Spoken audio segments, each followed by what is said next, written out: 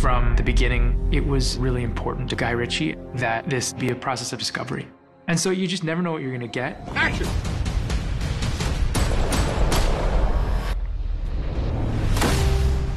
The movie is a thrilling action adventure, but at the heart of it is something moving. For three weeks, this family believed you were dead.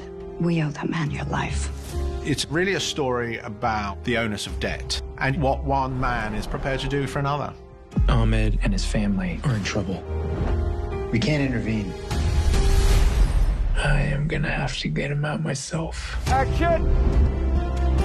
Working with Guy Ritchie, you have to be able to adapt and adjust because it's a living organism where everything changes on the day. He always edges in with a sort of obtuse angle on the normal interaction. So each scene has a stamp of Ritchie on it.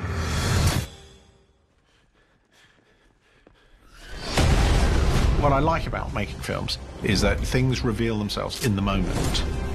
And war is the perfect arena to ratchet that tension.